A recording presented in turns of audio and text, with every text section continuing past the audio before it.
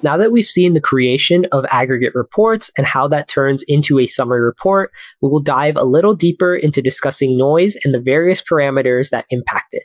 We can start by looking at what is noise. Noise is a random value drawn from a predetermined distribution and added to the true value.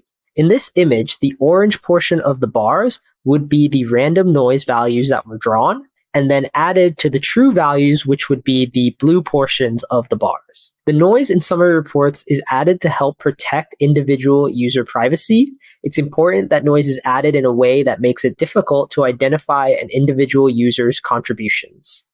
The amount of noise added to a summary report is based on a random value from a fixed distribution. It's important to remember the random value is only dependent on epsilon and contribution budget and is not dependent on the aggregate values that are collected. We will see an example of this in the Noise Lab demo. In this example, we have two buckets with very different true values. In the second image, once noise is added, we see that a similar amount of noise is added to both, but the noise has a much larger relative impact on the smaller blue bar versus having a much smaller relative impact on the larger blue bar. It's important to remember that ad techs can't control the orange values, which in this case would be the random noise, but they can control the blue values, which is the true value that they are tracking.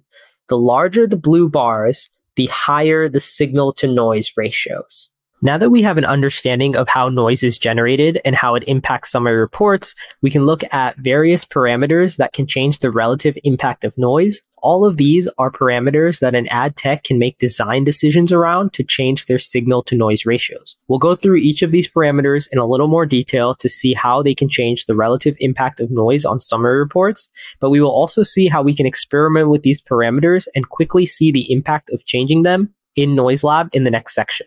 The first two parameters are API privacy parameters. The contribution budget is a fixed value set by the API to protect user privacy. And as you will see in Noise Lab, this is a fixed value that can be used to scale values that an ad tech is tracking. Next, we have epsilon, which is another privacy parameter. Epsilon ranges from 0 to 64. During origin trial, this is a parameter that ad techs should experiment with. We are looking for ecosystem feedback on this value, and we plan to set an upper limit on this parameter that satisfies the ecosystem's use cases. Next, we have conversion data. So in this case, that would be conversions per bucket. The more conversions per bucket, the smaller the impact of noise.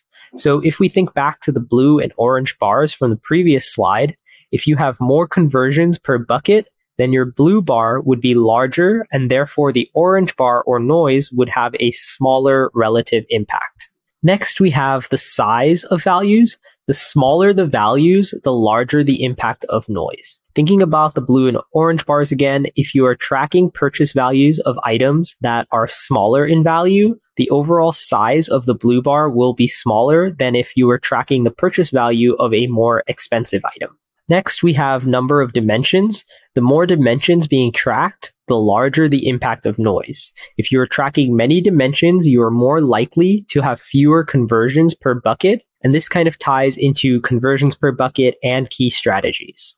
Next, we're going to look at some aggregation strategies. The first one is batching frequency. The more frequently reports are batched, the larger the impact of noise.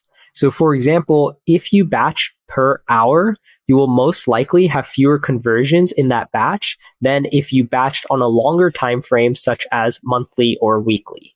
Next, we have scaling. With scaling applied, the smaller the impact of noise. If you're tracking the purchase value of an item and you apply scaling, this would in some sense increase the value that is being stored for each purchase and therefore the overall size of the blue bars.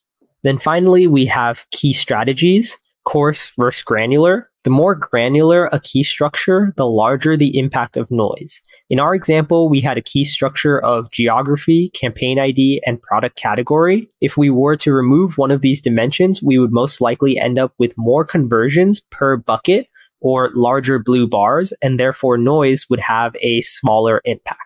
Now that we have an understanding of the attribution reporting API, summary reports, noise, and the various parameters that an ad tech can experiment with, I will now pass it over to Maud, a developer relations engineer on the Privacy Sandbox team who will go through Noise Lab.